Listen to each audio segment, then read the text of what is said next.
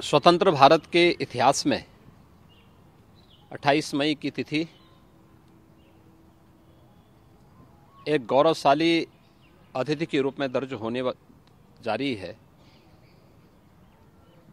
जब देश के यशस्वी प्रधानमंत्री जी के द्वारा भारत के लोकतंत्र की प्रतीक भारतवासियों को नई संसद भेंट की जाएगी। यह एक ऐतिहासिक अवसर होगा। इस ऐतिहासिक अवसर को गरिमामय और गौरवशाली बनाने की बजाय कांग्रेस समेत विपक्षी दलों के द्वारा जिस प्रकार की बयानबाजी हो रही है, वो अत्यंत ही दुखद और गैर जिम्मेदाराना है। लोकतंत्र को कमज़ोर करने वाला है और भारत के लोकतंत्र जिस पर पूरा भारत गौरव की अनुभूति कर रहा है, पूरी दुनिया जिस पर गौरव की अनुभूति करता है जो न केवल दुनिया का सबसे बड़ा लोकतंत्र है, बल्कि भारत लोकतंत्र की जननी के रूप में भी दुनिया के अंदर प्रधानमंत्री जी ने उसको एक नई पहचान दी है। उस भारत के लोकतंत्र को कमज़ोर करने जैसा भी ये बयानबाजी है। ऐसा नहीं कि इस प्रकार के गौरवशाली क्षण को जो आज विपक्ष के बयानों से विवादित करने का कुत्सित प्रयास हो रहा है।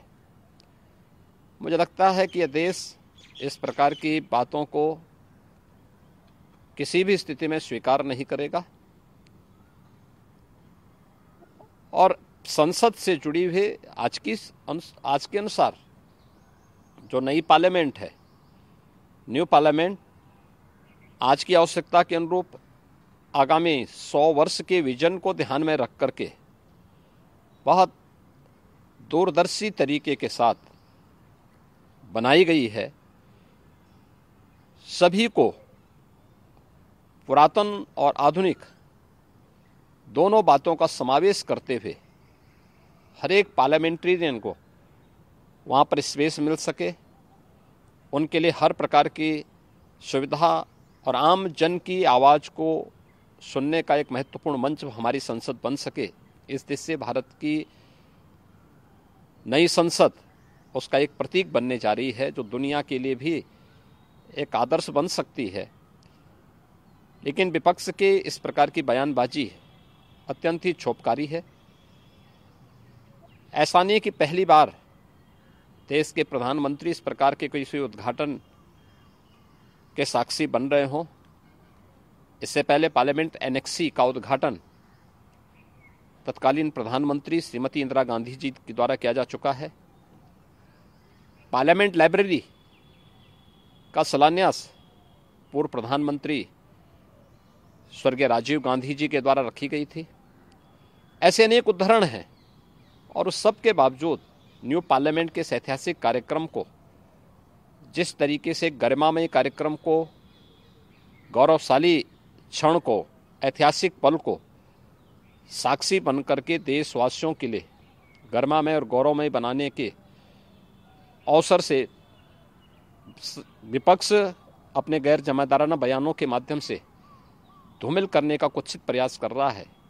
मुझे लगता है कि देश और इस देश की जनता जनार्दन इसके कतई, इसे कतई स्वीकार नहीं करेगी। हम तो अपील करेंगे कि सभी लोगों को इस अवसर पर साक्षी बनना चाहिए, इस ऐतिहासिक क्षण का। और भारत के लोकतंत्र को मज़बूत बनाने के आह्वान के साथ